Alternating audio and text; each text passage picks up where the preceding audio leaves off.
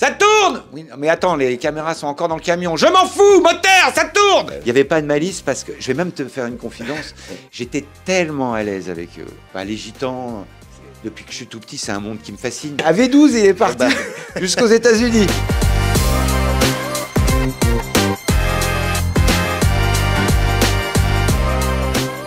Merci à nos amis euh, de France Bleu Armorique. On est à Rennes, Monsieur Yvan Le Bolloc. Je ne savais pas si on disait Monsieur Yvan Le Bolloc, Yvan tout court. euh, Son excellence, c'est bien. Son excellence, c'est pas mal. Quand on parle musique, et euh, on l'évoquait un petit peu en off, parce que tu nous faisais un petit clin d'œil sur les gypsies, euh, ma guitare revient, c'est quoi On est fin des années euh, 2008-2009 Ma guitare s'appelle Revient. Ma guitare s'appelle Revient, pardon. Je prie. Ça, ça sonne comme un, titre de film, Ouais, ça, ouais. non? Ah oui, ça oui, l'idée ça démarre comme un film. hein. Ouais. Ça démarre comme un film. Ouais. Ça démarre comme un film. euh, euh, je suis, euh, je tourne un film dans le sud de la France. voilà, il y a quelques années, et, ma guitare qui est devenue mon nouveau sac à main parce que je suis en pleine période d'apprentissage, je la traîne toujours avec moi. Et euh, sur ce film de Moki, euh, qui se tourne de- dans le sud, euh, du côté de, de Perpignan, euh, je dis au régisseur, euh, bah, moi je suis en pleine période d'apprentissage en ce moment euh, pour le compas et tout, avec, le- avec ma guitare. Si tu peux me trouver des gitans, ici c'est comme un pays de gitans, ce serait super, comme ça tu me les présentes et ils vont me montrer deux, trois, deux, trois plans. Et puis, euh, donc, un régisseur sur, un, sur le film de Jean-Pierre Mocky, il a beaucoup, beaucoup, beaucoup, beaucoup de choses à faire. Déjà, euh, la première, c'est de bien penser à enfoncer très profond les boules qui dans ses oreilles, parce que Jean-Pierre Mocky, c'est moteur Il parle fort, l'animal. Ouais. Je ne connais pas, mais... euh, Oui, c'était ça, c'est ça. Moteur Oui, ça tourne Oui, mais attends, les caméras sont encore dans le camion. Je m'en fous, moteur, ça tourne Parce que Mocky tournait comme ça, à l'énergie, et il fallait que tout soit fait dans l'instant. Ça, on voit. Ouais. Euh, parce qu'il n'avait pas, euh, il avait pas de sous pour tourner. euh, il avait des sous pour finir la journée, pour payer tout le monde au cul du camion à la fin de la journée au black. Il sortait d'une grosse liasse de son pantalon de survêtement et c'est comme ça qu'il payait. Et, mais sans pour autant être sûr que le lendemain, il allait pouvoir continuer le. le- C'était vraiment un flibustier, un flibustier du, du- du- du cinéma français. Et, et bref, et donc je rencontre des gitans. Ouais, c'est comme ça que ça démarre. Euh, et donc, ils sont très honorés, euh, je pense, de voir que, en, tant qu'aficionado, je, connais des, des, des- des- chansons, des titres qu'ils ont, euh, voilà, qui, euh, que leurs copains, leurs frangins, leurs cousins ont composé. Et, et donc, voilà, la, la soirée va, va durer très très longtemps. Euh, L'émission, elle s'est terminée à 18h. Après, ils m'ont fait faire la tournée des Grands-Ducs. Ils m'ont poussé dans une grosse Mercedes qui sentait très fort euh, la chaîne en or et, et l'eau de Cologne. Et puis, Et parti. et là, c'est parti. Et là, on a fait euh, les bars qui étaient installés en, bo- en bord de plage. On a fait les pizzerias. On a fait, enfin, dès qu'il y avait, voilà, deux trois assiettes et puis un serveur avec un, un torchon sur l'avant-bras, on était là, quoi. Et on a fait bamboléo toute la nuit. Et donc, à, l'issue de ça, bon, j'ai pris, euh, j'ai appuyé sur la craie ce soir-là. hein, vraiment, on s'est fait une grosse, grosse fiesta. Je suis rentré à l'hôtel, j'ai oublié de fermer les portes de la bagnole. J'ai laissé toutes les guitares à l'intérieur. Le lendemain, il n'y avait plus une seule, une seule pelle. Et du coup, c'est devenu ma guitare s'appelle Revient. Voilà. Et je vais revenir dans le passé parce que c'est vrai que Yvan Le Bolloc, c'est un, un trublion aussi, euh, finalement, euh, euh, de la télé, du théâtre, de, de beaucoup de choses. Mais le, le petit Yvan qui est né, euh, d'ailleurs, en Bretagne, Mhm. la, la- la guitare est née quand euh, T'étais gamin? Enfin, il y avait quoi Non, non, non, non? Alors là, non, franchement, les premières années, j'étais plutôt un physique, moi. J'étais plutôt planche à voile. Le surfeur, le, voilà, c'est ça. le, le- le beau sur la plage. Voilà, c'est ça. c'est bon, mais c'est aussi celui Ouais. que les, les pomplards vont chercher au fond de la baie avec le, le zodiaque. hein. Parce À que bout de pour, souffle. parce que pour partir, ça va. Mais pour revenir, c'est plus dur. Ouais. Ah ouais, ouais, ça quand tu débutes euh, la planche à voile, il faut, il faut en être bien conscient. Euh, le départ est toujours beaucoup plus euphorisant que le retour.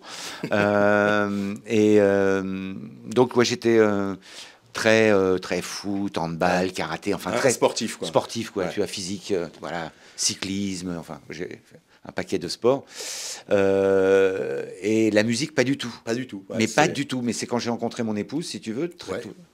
Euh, Ça t'a mis le, le pied à eh, bah oui, elle, elle puis- m'a dit ouais. voilà, moi je suis une chanteuse, euh, Ouais, mais donc euh, si on- c'est bien que tu m'apprennes à skier, mais euh, je préfère chanter. mais je préfère chanter. La voix Exactement. de l'amour, c'est grand chez toi parce que c'est vrai qu'on tu as la chance d'avoir euh, une rubrique dans Wikipédia, donc on peut aller surfer euh, tout plein de choses.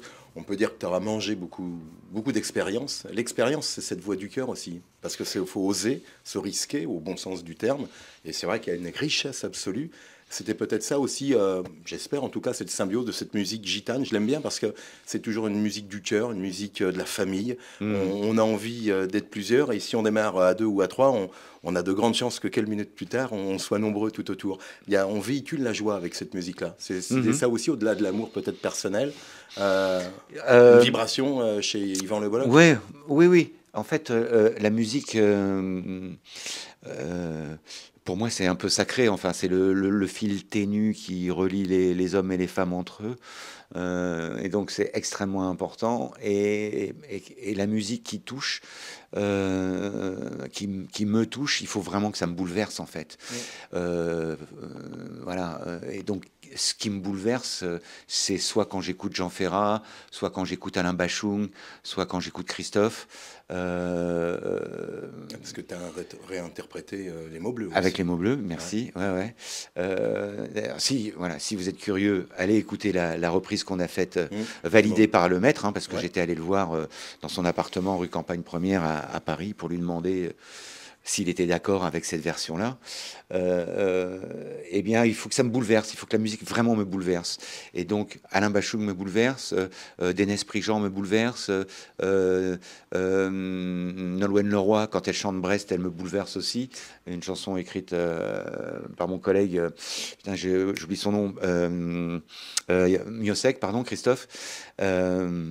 Et la rumba flamenca, la musique des Gypsy Kings, ce qui m'a bouleversé, c'est euh, euh, c'est pas tant les paroles, parce que même si j'ai fait euh, anglais deuxième langue, espagnol deuxième langue, pardon, c'est vraiment une question de, vib- de vibration. Ouais. Là, tu as en face de toi, quand ils te la font, et c'est comme ça que j'ai abordé la musique. Moi, je travaillais à Europe 1, tu vois, j'étais apprenti journaliste. Il y avait les Gypsy Kings qui ont déboulé à un moment pour une interview. Normalement, c'est Jean-Luc Delarue qui s'y collait, il n'était pas là ce jour-là. Et puis on m'a dit, bah tiens, euh, Monsieur Le Bolloc. toi qui portes des chemises de mauvais goût, hein, tant qu'à Ouais, nettoyer, breton, c'est ce qui est logique. Voilà. autant faire briller. Il y a les Gypsy Kings qui sont là, bah vas-y, va À l'attaque. à l'attaque. Et là, mon pote, euh, faire l'interview des Gypsy Kings, c'est comme demander. Ouais. une augmentation de, de- de salaire à Emmanuel Macron, tu vois. Ouais, c'est pas facile. Euh, c'est pas possible, ça, ça, pas ça fonctionne pas. Tu Bon. dis à Emmanuel Macron, on peut pas augmenter le SMIC. Il fallait voilà. les faire chanter de toute façon. Donc On, absolument. on va pas ouvrir Ma- Emmanuel Macron, on le voit trop. Je me suis juré de ne pas parler d'Emmanuel Macron. Juré.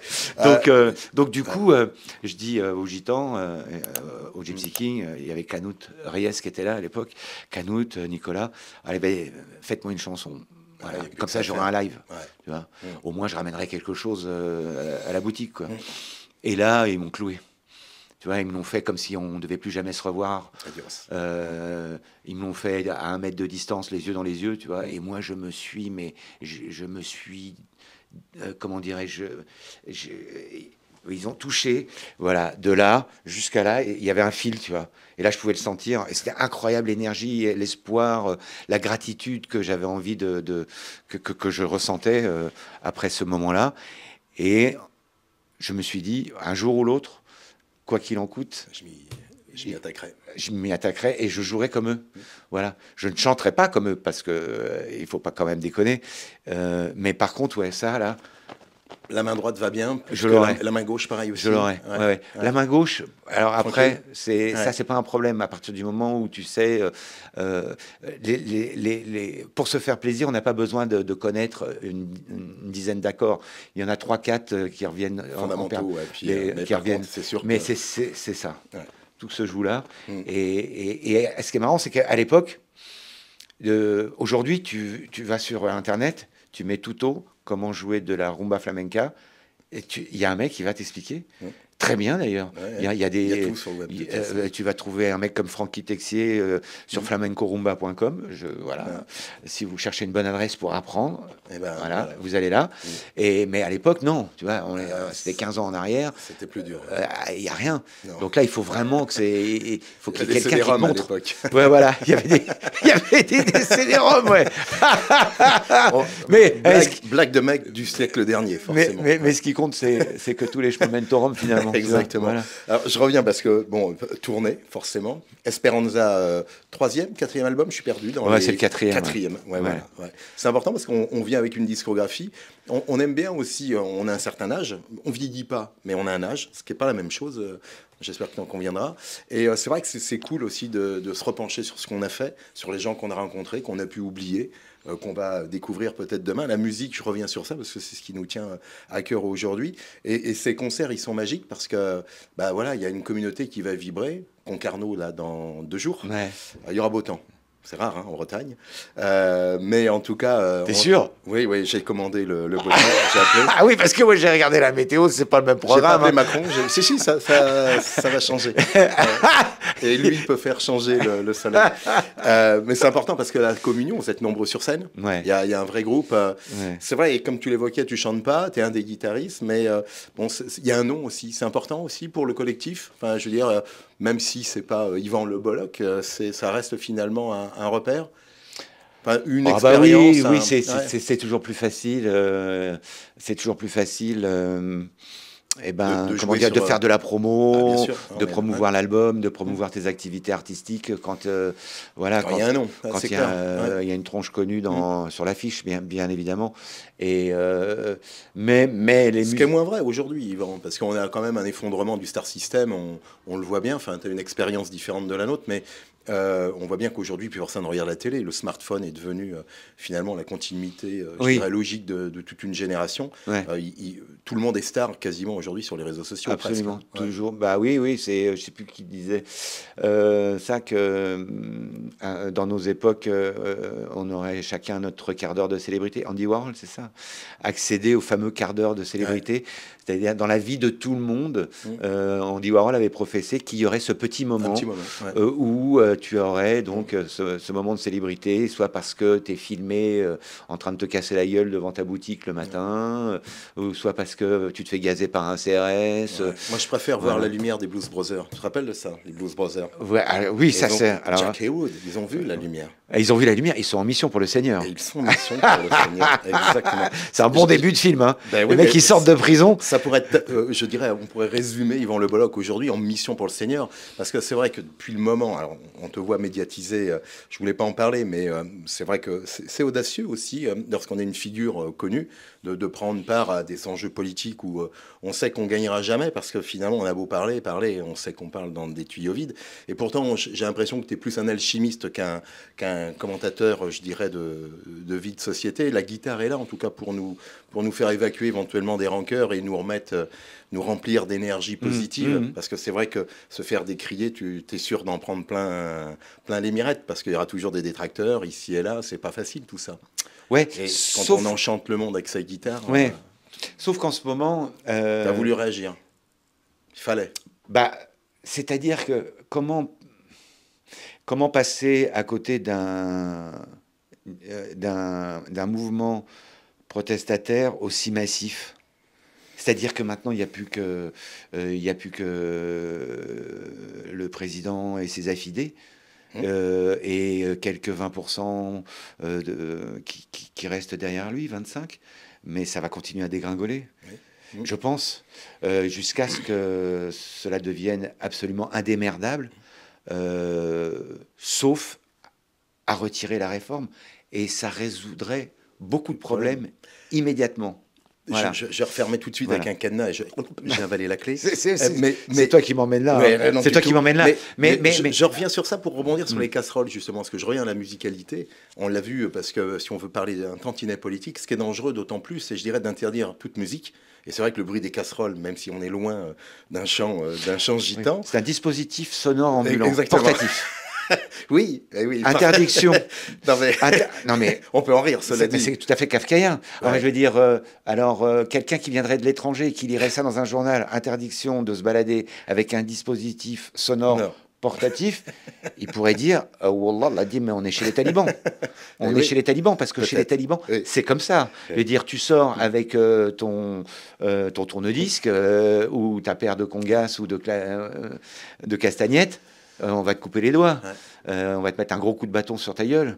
Et, et- et là, ça se passe pas euh, au, au- au Pakistan. Non, ça se passe chez- ici en France. ouais. C'est ici. On, on avait au siècle dernier les humoristes. on- il nous reste peut-être moins d'humoristes, Mhm. encore que euh, ici Mhm. et là, ça, ça, ça charrie bien. Oui, quand oui, même. oui, oui, il oui. reste quand même la musique quand même aussi pour, euh, dirais, être contestataire et puis mettre contestataire dans le cœur. On, on voit que les gens, on n'est pas obligé, j'allais dire, de, de contester dans la violence. On peut aussi, euh, alors je, je suis pas un utopiste, hein, mais euh, cela dit, c'est vrai qu'on on voit bien qu'on change pas le monde comme ça, c'est compliqué. Par contre, les cœurs, on, on peut les, les unir entre Mhm. guillemets. J'aime bien, je reprends ce mot commun, c'est la somme des uns. J'aime bien le dire ça. Ce commun, en tout cas, on peut se battre avec.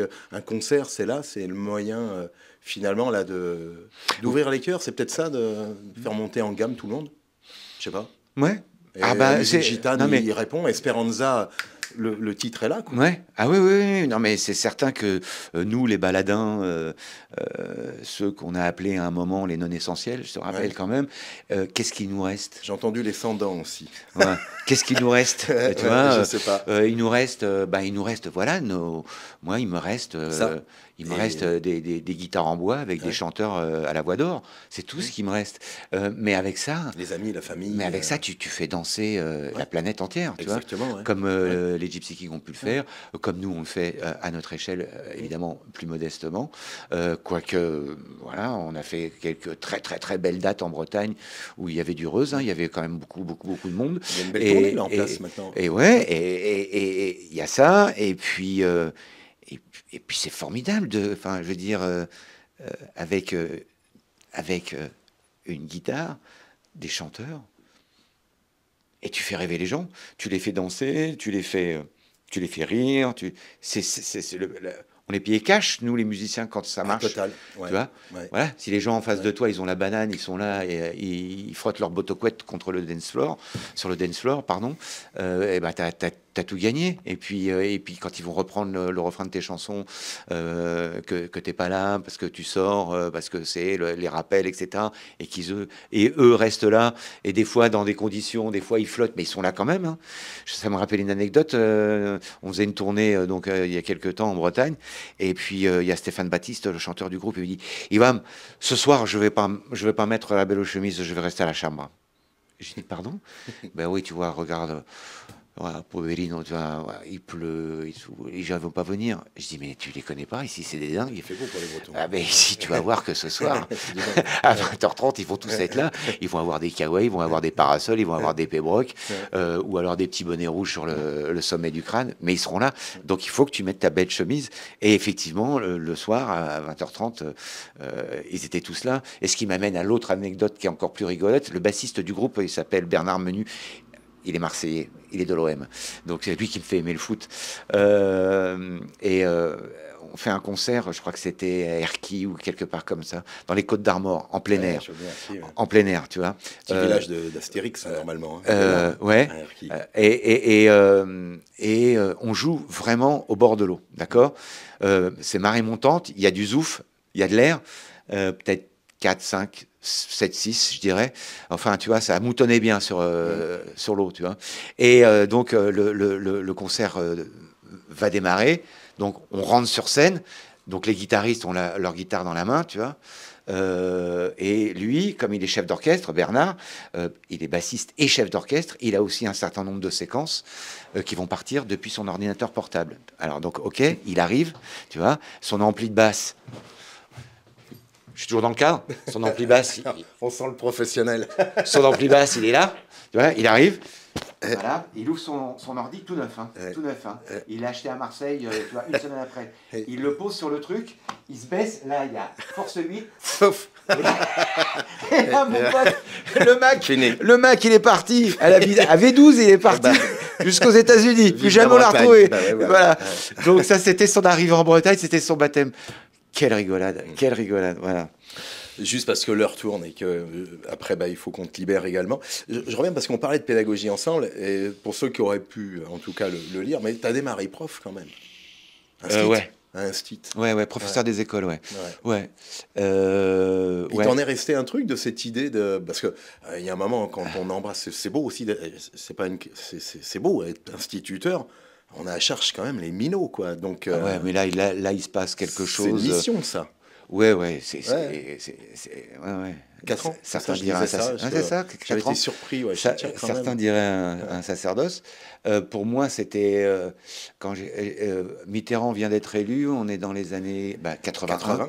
80, 81 et là, il a l'excellente idée d'embaucher un paquet d'enseignants. Bah, il fallait. Tu vois mmh. Et tu, si tu avais bac plus 2, tu pouvais rentrer directement en formation à l'école normale.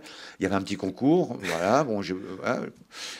Et, c'était absolument fantastique. C'est-à-dire que quand, quand, j'enseignais, si tu veux, euh, je devais avoir donc 20, euh, 21 euh, ans.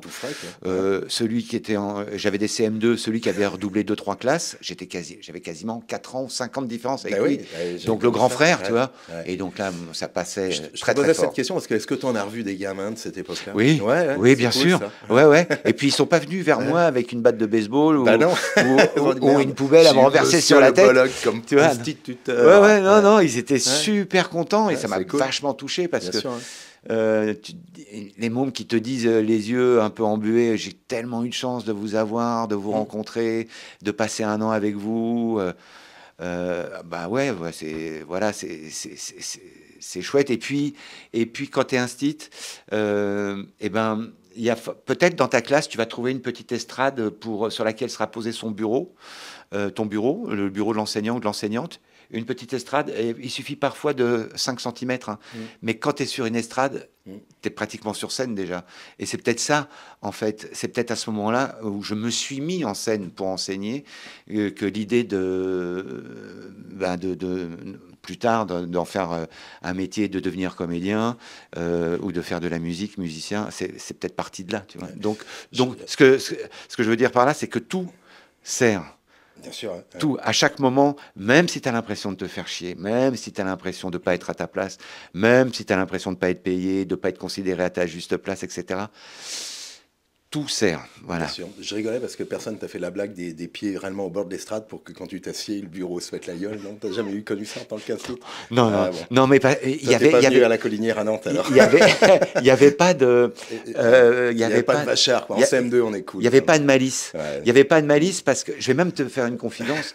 J'étais tellement à l'aise avec eux.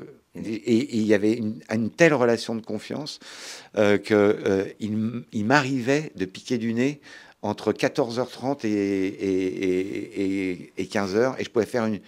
Je leur donnais un devoir, et je pouvais faire une petite sieste flash express il n'y a rien qui bougeait. Ça sera peut-être déduit de ta retraite, ça. Ouais. ça on en J'espère. essaye un peu. Essaye un peu. Ça, essaye de toucher à ma retraite. J'ai des amitiés en lieu. essaye de toucher à ma retraite. Sous loupard. Alors justement, Esperanza, j'allais dire parce que. Tu sais, tu sais, les mecs qui touchent à la retraite en ce moment, tu sais qu'ils sont, ils sont obligés de voyager avec des cahuètes toujours ah, bouclées autour de la tête. et, ils sont obligés de voyager sous la soute et tout à la place de la route secours. Hein. Ceux qui veulent toucher à nos retraites en ce moment, demande à, demande à Papendiaï ce qu'il en pense.